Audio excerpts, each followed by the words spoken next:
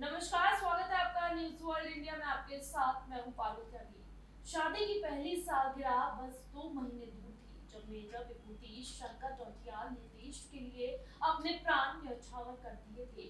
वो पुलवामा हमले को अंजाम देने वाले आतंकियों का पीछा करते हुए 20 घंटे लंबे चले ऑपरेशन में वीर गति को प्राप्त हुए।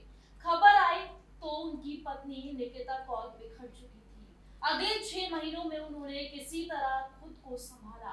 वो बिखरे टुकड़े समेटे और तय किया कि मेजर विभूति की विरासत को आगे बढ़ाएँगी। भारतीय सेना में शामिल होंगी। मेजर विभूति को गए दो साल हो चुके हैं और अब निकिता कौर भारतीय सेना में लेफ्टिनेंट बन चुकी हैं। शनिवार को उन्होंने पासिंग आउट परेड की आखिरी औपचारिकता भी पूरी कर ली। देखिए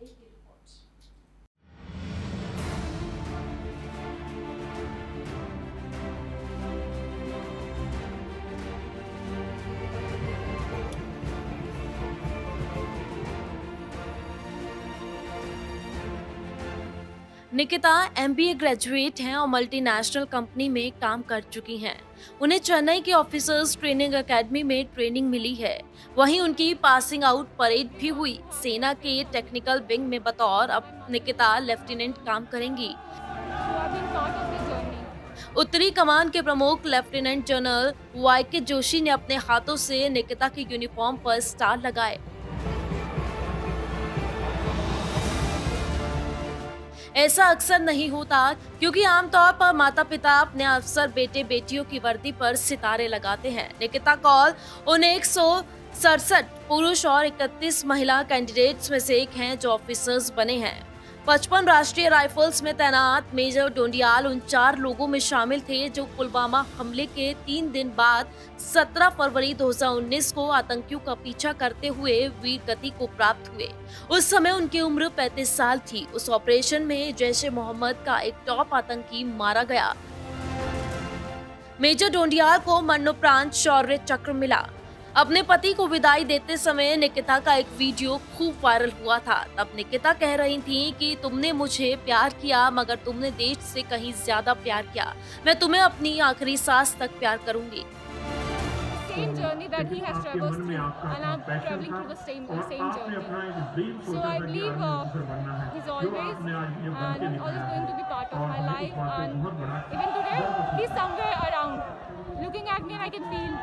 That uh, he's just holding me and saying, uh, "You did, you just, you just did it."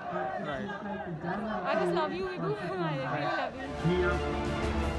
सितंबर 2019 में निकिता ने शॉर्ट सर्विस कमीशन के लिए अप्लाई किया क्योंकि वो एक सैनिक की विधवा थी इसीलिए उन्हें उम्र सीमा में रियायत दी गई पिछले साल फरवरी में अपने पति की पहली बरसी पर निकिता ने कहा था कि वो सेना में शामिल हो रही हैं निकिता कौल ने बताया था कि उनकी सास सरोज डोंडियाल ने इस फैसले में अहम भूमिका निभाई है।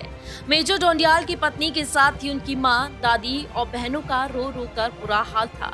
निकिता ने जब खुद को संभाला और खुद ही शव यात्रा की अगुवाई की उन्होंने कहा जो चले गए उनसे कुछ सीखे। दुनिया में जो शहादत देते हैं उनसे सीखना चाहिए। शहीद को अंतिम विदाई देते वक्त पाकिस्तान विरोधी नारे लगे। साथ ही लोगों ने भारत माता की जय के नारे लगाए थे।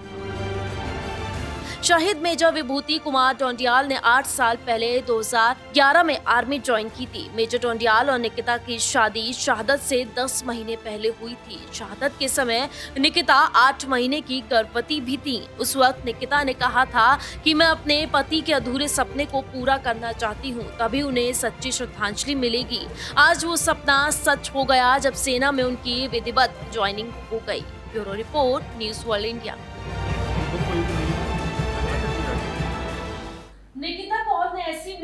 पेश की है, जिसकी जितनी भी तारीफ़ की जाए, कम है।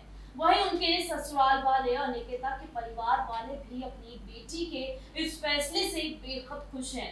उनका कहना है कि बेटे की शहादत के बाद निकिता के सेना ज्वाइन करने पर वो गर्वित हैं और वो ज़रूर अपना और देश का नाम रोशन करेंगी। फ़िलहाल के लिए इतना ही। आप देखते रहिए